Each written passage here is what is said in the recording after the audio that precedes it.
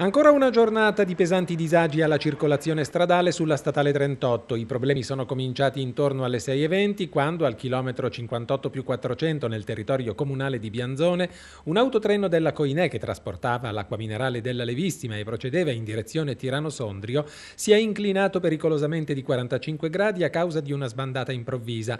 Una manovra forse tesa ad allargare per favorire il transito di un altro veicolo, secondo la prima sommaria ricostruzione dei carabinieri del nucleo radio radiomobile della compagnia di Tirano. Il guardrail, in parte sfondato, ha comunque impedito che il mezzo pesante si ribaltasse a causa del dislivello con la scarpata adiacente, rimanendo invece in parte sulla carreggiata. Per un'ora il transito è stato possibile, anche se difficoltoso. Poi alle 7.30, una volta intervenuta l'autogru dei Vigili del Fuoco per la rimessa in strada del tir, si è dovuto procedere alla totale chiusura della 38 per consentire l'operazione. Immediate e pesantissime le ripercussioni sulla viabilità, con la formazione di lunghe code da Tresenda e soprattutto da Tirano che Carabinieri e Polizia di Stato hanno cercato di smaltire sulla viabilità secondaria.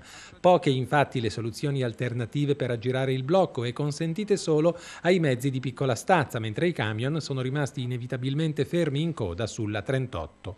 Il traffico così è stato deviato sulla viabilità interna tra Villa di Tirano e Bianzone. Siamo incolonnati anche qui insieme a tanti altri automobilisti che hanno dovuto prendere questa alternativa obbligata per cercare di aggirare il blocco sulla 38.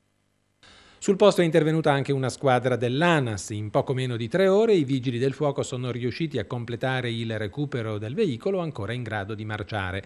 La statale così è stata riaperta in entrambe le direzioni intorno alle 10.15. Illeso il camionista, nessun altro veicolo è stato coinvolto.